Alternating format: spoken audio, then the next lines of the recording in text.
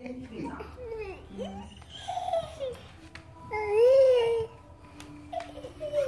Ja, det är kul att de kommer så bra överens. Men det har ju faktiskt också gjort med Therese, fast man, man eller ja, hon vet inte riktigt vad Therese är, det är som har ersatt. Jag vet inte. Men hon har, ja, du har träffat henne? Hon var jättetrevlig. Ja, är jättetrevlig. Hon ser lite sådär, vad ska vi säga? Om man har, om man har mina fördomar var lite så här, oj, Ung och bara lite white trash och bara måste ha ett jobb. ja lite så. Ja, men hon är fantastisk.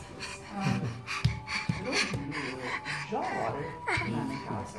Jättemysig. Jag blev så himla besviken när, hon, eh, när mormor glömde bort henne. Ja, För att hon var verkligen sådär också som hon satt och pratade om. Alltså, hon- hon, så här, innan Therese hade gått liksom, var ute i hallen så började Ja. mormor bara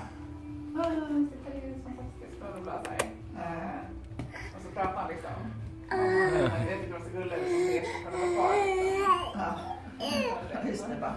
Eh, tur att det är bra. Ja, verkligen. Det är bra, det är bra. Det är bra, det är bra. Undrar när Milles kommer upptäcka att han fotas.